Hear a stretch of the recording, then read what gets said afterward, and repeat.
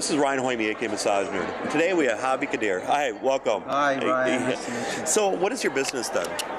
Um, I'm, I teach a, a, a system of body work that I developed, or let's say conscious body work with an energetic component to it. Okay. I call it body energy wholeness. It's uh, uh, strongly based in cranial sacral therapy, uh, but there, there's a, a, a lot else going on in it as well. Yep. and, and is it more of a lighter technique then? It's mostly light touch. Yeah. Now, over the years, I've worked a lot with physical techniques, and also, on the other hand, explored a lot of energetic work. And the, the challenge was always to get the energy work to get into the physical body and stay there, so to speak, to have lasting results Uh-huh. uh, instead of just a, a temporary effect. And I was thinking about this for a long time, and I began to realize that I needed to get my clients involved more in what in, in, in what we're trying to do instead of just lying there and receiving. Yep. Okay. So we're so used to that. Yeah. So I, I began working with really simple things like breath and inviting them to just breathe a certain way, and that that hastened the process. And I began extending that and exploring that and using certain, even certain language. Like I, I studied neurolinguistic programming, and I was using language that would bring about changes in how their nervous system was working. Uh, and so it goes on and on and on, but I call this the inner game. okay. Okay? so for me as a therapist, this is my inner game. This is what keeps my energy really good all day long uh, and keeps me balanced in a way to where I can see things that otherwise I would miss if I were trying too hard. That's the first thing. And then I use this with my clients. So day one, they're going to start learning the inner game.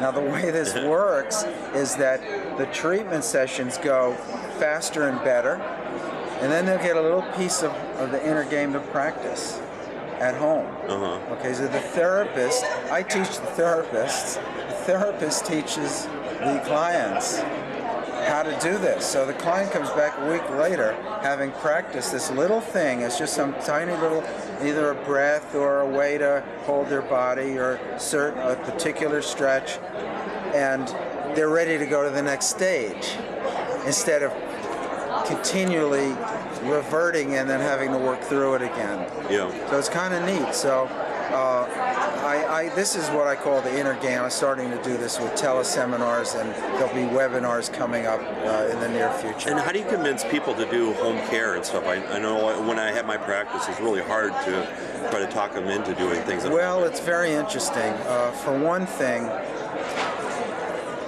when they're learning it and they get it right, you know, as for example, uh, how a person's breathing or where the breath is going, Uh-huh. okay, when they get it right, you praise them right away. You tell them, that's it, you got that now, you're doing it right, like you're a coach, okay?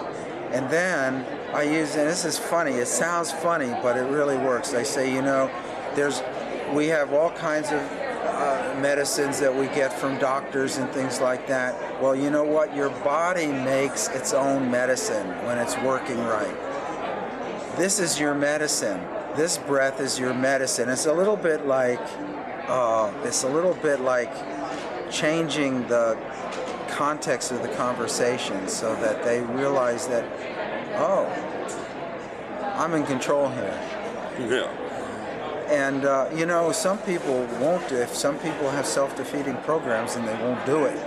But most of my clients will do it. they'll forget, then they'll remember, then they'll forget, and I'll keep reminding them that this will help you.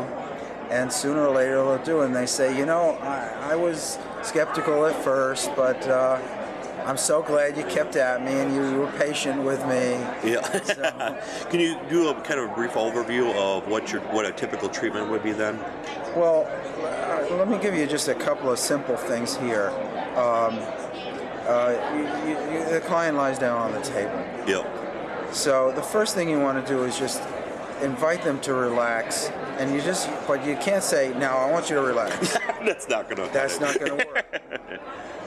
So let's just start to slow down a little inside. Now take that statement. Let's start to slow down. You don't have to slow down totally, but start to slow down a little Yeah. inside. Good. Okay. Now feel your breath coming in. Don't just breathe or just feel your breath. Feel your breath as it comes in because as it comes in, your body fills up. And you can feel that. I'm getting relaxed just talking to you. Yeah. Now the next thing is I gotta wake up. here's the idea. So once they get that going, you say, you know, your body's think of your body as a balloon.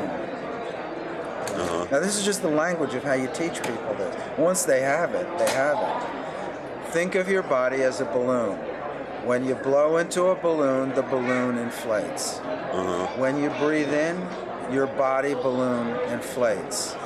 Now you have a single word that you can use that connects that person to the experience of breathing in and feeling it. Be a balloon.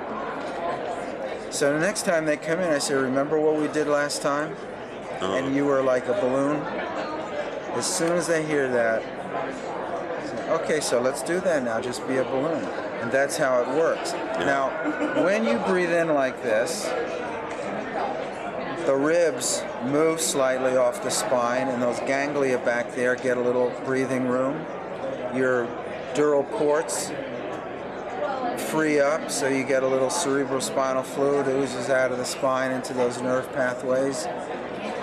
Everything in the autonomic nervous system starts to work properly. Mm-hmm. Okay. The brain up here goes, this works. Okay?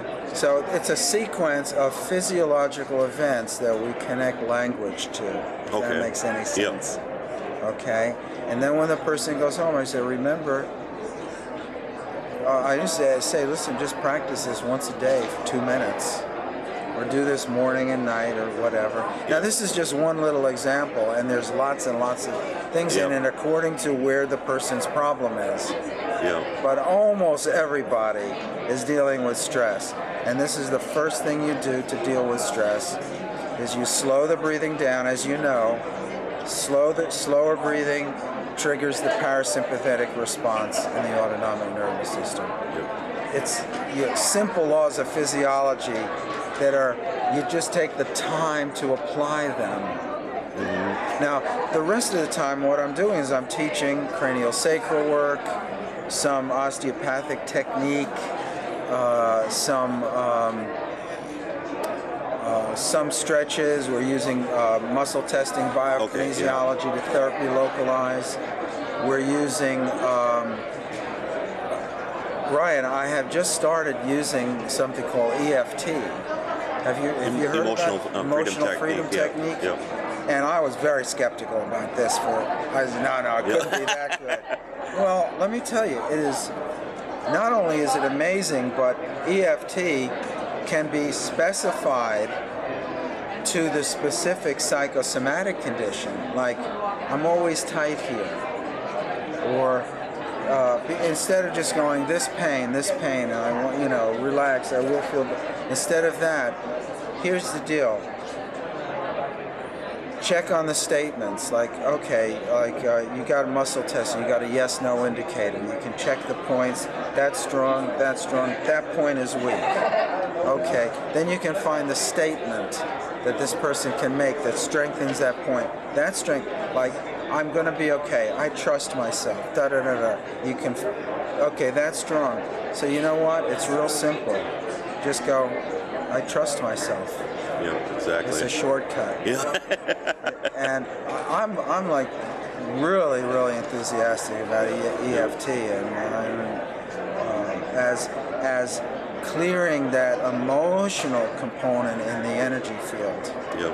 And I myself, I got to wake up now because you're so calming and relaxing. And no, I'm excited here being at the convention. Yeah. Yeah, yeah. but that helps with therapists too and stuff. The more calming you are to the client, it just puts them in that state right away, even without even touching them. It seems. It's- Yeah, breathing. Uh, I had years and years and years of training from uh, you know, masters. You know, I was very, very fortunate to have a teacher who was a real master, and and just taught us breathing like all the way through classical breathing techniques and prana and so forth and so on. So I find that in the modern world, people need this education.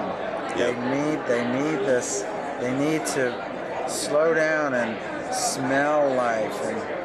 Feel it and become present to it. And that's 50% of the game right there, maybe more. Yeah. So yeah. Yeah. And what's the best way for people to get a hold of you then? Uh, you can go to my website, uh, uh, Body Energy. Um, I got to take a look at this. Yeah, is a brand started new it, so- world. yeah, yeah. this is a brand new world. It was Dynamic Stillness Training. Yeah. Dynamic Stillness Training. Or you can do this. Yeah. You can text 22828, and the message is Body Energy, one word. 22828 Uh, put in body energy and send that and you'll get a, a message from me where you can put in your email and you'll be on my list and then you'll get it You're getting technical there. yeah. 22828 or Okay. dynamicstillnesstraining.com Okay. Perfect. yeah Well, it's a pleasure, hey man. ryan it's Yeah. great talking with you thank you Yep. Thanks, everyone. Okay, thank Yep.